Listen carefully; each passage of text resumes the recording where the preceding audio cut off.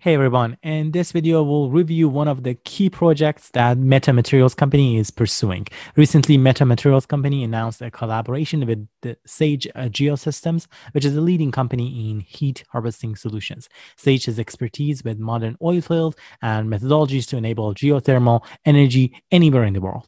As part of this collaborative partnership, the two firms will submit a $10 million initial proposal under an open call for advanced research projects agency Agency uh, of Energy to the US Department of Energy. And if successful, the project, which is codenamed as Pluton, will run over a three year period.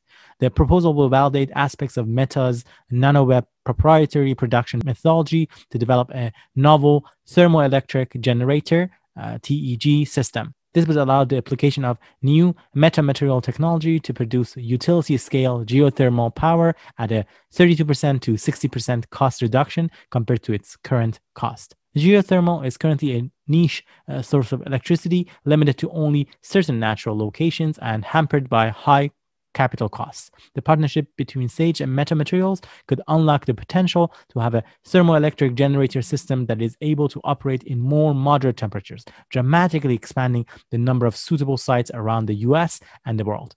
The area shaded in yellow through orange on the map shown here in, uh, shows the locations where appropriate temperatures exist at depths of five and a half kilometers in the US, which could apply this technology. Moreover, unlike intermittent wind and solar, which require much more land area, geothermal has the potential to become an abundant source of clean, compact, renewable baseload power.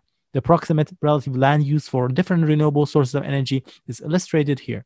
For thermoelectric generators, a single well should generate about 5.75 megawatt of power. 12 wells may be grouped in a 4 by 3 pad, uh, occupying approximately 800 square feet.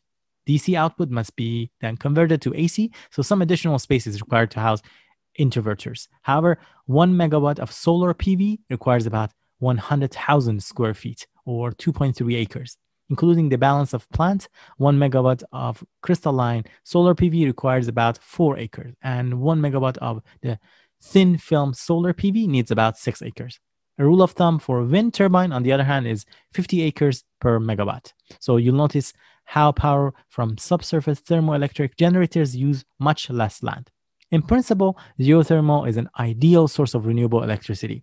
Heat from deep beneath the Earth's surface is abundant, virtually emission free, and always available to supply baseload power. In practice, however, geothermal accounted for only a tiny fraction, or 0.4%, of the approximately 4 trillion uh, kilowatt hour of electricity generated at utility scale electric power plants in the US in 2020. Nearly all of the current US geothermal capacity is located in California and Nevada. Sage and Meta plan to run a three year project to prove up the thermoelectric generator technology with the goal of reducing the cost of geothermal power. They are working to address technical requirements and demonstrate a prototype in 2021.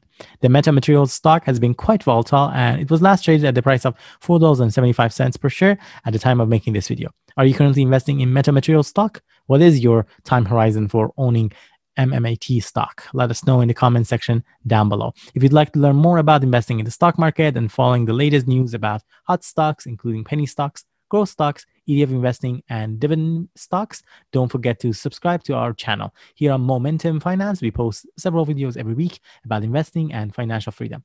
I appreciate if you give this video a thumbs up, and I hope to see you next time.